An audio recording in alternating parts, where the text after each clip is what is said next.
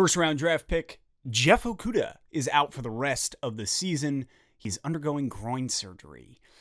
So, thank you everybody for liking, for commenting, but most of all for subscribing to this channel. I have seen a, just a tremendous growth over this last week. It's been awesome. And that is all thanks to you. Thank you for being a part of this and for helping me out and and for just enjoying the content that I'm bringing you. Yeah, so just a couple minutes ago, word hit the street that Jeff Okudah is done for the rest of the season. For the remaining four games, Okudah's gone. So obviously, we picked up Okudah. I was literally about to do a progress report video on him.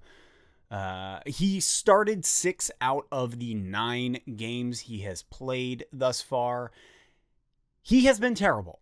Okudah's been terrible. He has a couple weeks ago, he gets this shoulder injury, so he's been out for two weeks with the shoulder injury. We know that the groin injury has been a problem of his since Ohio State. So here we are, our number one draft pick is dead.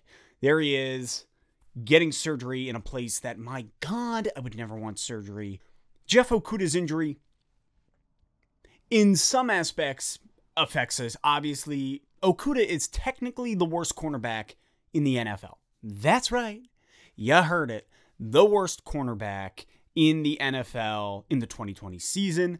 However, I'll say this for all of those that were drafted this year, they didn't have a preseason. And for some guys, they've excelled. Some guys, they have not. Jeff is in the has not excelled. But what we do know is hey, you know what? We didn't have a preseason. There were no games to get him prepared. His first game was against Green Bay. And that demoralized the poor man. It would demoralize anybody.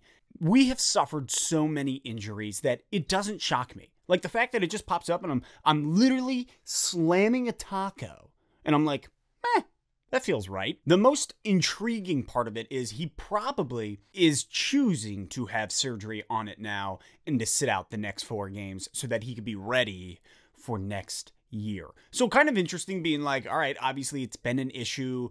Right now, we are technically in the wild card hunt, so it is an interesting time. But hey, listen, if your groin's killing you, it's it's killing you, man. So gotta do what you gotta do.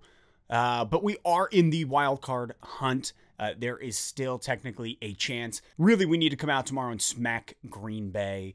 You know what? I don't think it's gonna happen, but I'm open. So the depth of our cornerback position is uh, getting thin. It feels like I'm walking across that light ice on a March day. At this point, Trufant is gone. Uh, he's on the IR. Now Okudah's gone. So at this point, we really have Justin Coleman, we've got Roberts, and we've got Amani out there. So between those three, they are going to be the uh, cornerbacks that we'll see on the field uh, defending our honor here in Detroit against one bad man. Okudah has actually had a good season when it comes to stopping the run. His run defense has been very good. When it comes to stopping the pass, not so much. But there's been a lot of interesting plays defensively where you'll watch him cut in from the corner and actually take down either the running back or, in a few cases, the quarterback. So Overall, Jeff Okudah has had a bad year, but again, no training camp, no preseason, no nothing. He just gets out there week two. He was thrown into the fire.